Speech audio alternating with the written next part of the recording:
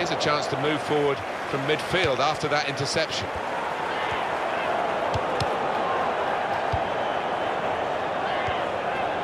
Thomas. And that's a turnover to the opposition.